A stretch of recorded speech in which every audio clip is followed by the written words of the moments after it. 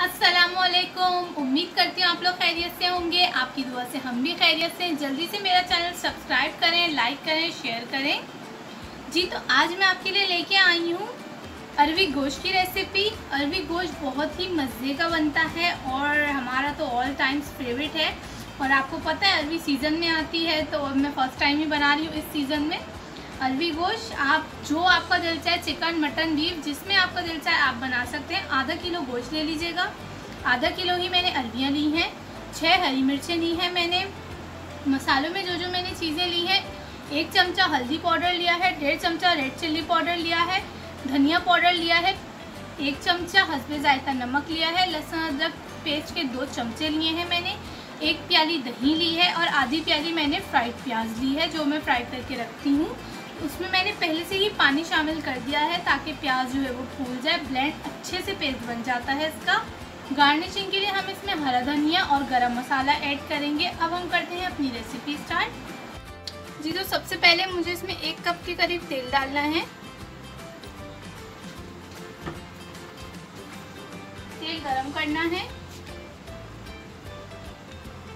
अब मैं इसमें गोश्त शामिल कर रही हूँ। गोश्त शामिल करने के बाद मैं इसमें अदरक लहसुन का पेस्ट शामिल करूँगी और इसको अच्छे से भून लूँगी।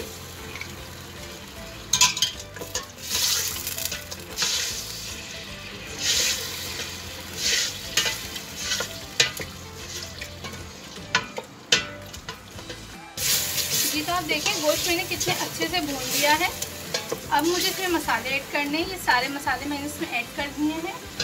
इसको डाल के अच्छे से भून लूँगी।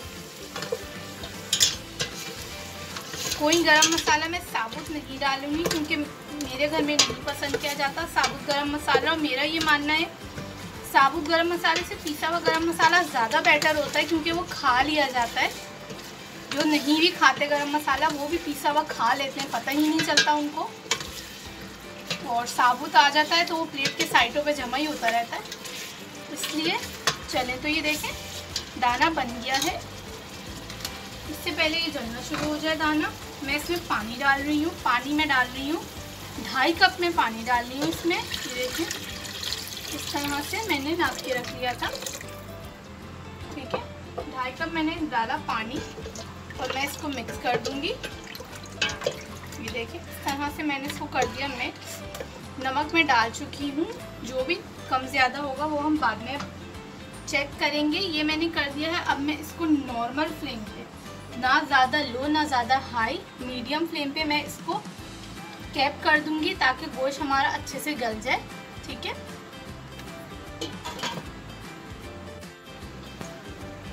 जी तो ये गोश्त जो है हमारा चेक करते हैं, गल गया या नहीं गला है।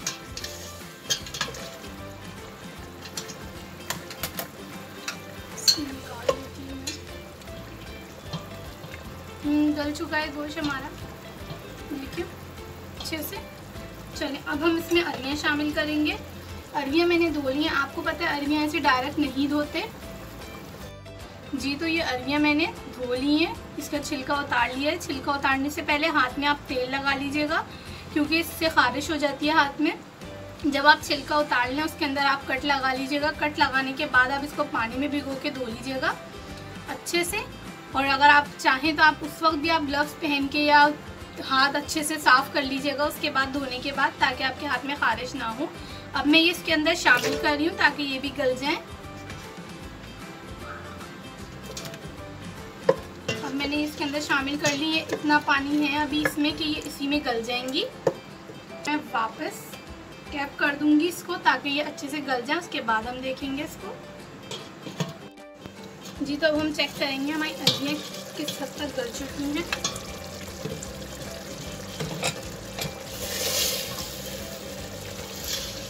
जी, हमारी अलमियाँ जो हम देखें बिल्कुल गल चुकी हैं। अब इस स्टेज पे हम हरी मिर्चें डालेंगे और चूल्हा करेंगे हल्का थोड़ा।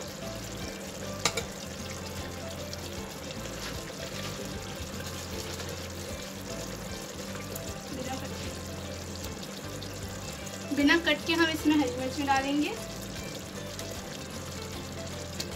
ठीक है? हरी मिर्ची थोड़ी नरम पड़ जाए इसमें, क्योंकि हरी मिर्चों का जायका बहुत अच्छा आता है अरवी गोश्त में। इसलिए अरवियाँ टूट जाएँगी, इसलिए मैं थोड़ा सा चमचा इसका चलाऊँगी। अच्छा ये देखें मैंने ये पेस्ट बना के रख लिया है। अब हम इसमें पेस्ट डालेंगे।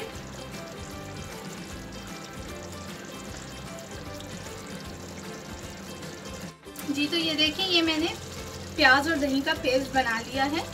अब मैं ये डाल रही हूँ इसमें, इस तरह से। ठीक है? ये डाल के अब मैं देखें पीछे से चमचा चलाती रहूँगी, क्योंकि अरवियाँ टूट जाएँगी, वरना। बस इसको साइड साइड से हमें घुमाना है। भी देख के। कलर देखें कितना अच्छा आया है। बस अब हम इसको थोड़ी देर पकाएँगे, ठीक है? ताकि तार ऊपर आए इसका। गोश्त भी गल गया है अरवियाँ भी गल गई हैं। चीज़ आप देखें इसका तार ऊपर आने लगा है। अब मैं इसमें शोरबा डाल रही हूँ मीन्स ग्रेवी। आपको जितनी करनी हो आप कर सकते हो। आप अगर पतला खाते हो तो पतला कर लो, गाढ़ा खाते हो तो आप थोड़ी ग्रेवी डाल की रखो। बस ये मैं थोड़ी देर पकाऊँगी इसको इसी तरह से। पाँच मिनट भी नहीं पकाऊँगी, दो मिनट में इसका तार जो है वो अच्छे से ऊपर आ जाएगा। इस स्टेज पे मैं गरम मसाला डालूँगी इसके ऊपर। ठीक है? एक चमचे के करीब मैंने इस पर डाला गरम मसाला। और हरा धनिया। ताकि हरा धनिया का भी एक अपना फ्लेवर होता है, वो इसमें आए। ये देखिए, ये मैंने डाला हरा धनिया इसमें। और बस अब मैं इसको इसी तरह से बंद कर दूँगी। बस इसको इसी तरह से मैं दो मिनट के लिए दम पे रख दूँगी। जी तो देखें कितने अच्छे से तार ऊपर आ गया है इसमें। और अब ये बिल्कुल डन है। अब मैं इसको डिश आउट कर रही हूँ। जी तो उम्मीद करती हूँ आपको हमारी अलवी गोश्त की रेसिपी पसंद आई होगी। ज़रूर ट्राई कीजिएगा। बहुत ही अच्छी रेसिपी है और बहुत मज़े का बनता है।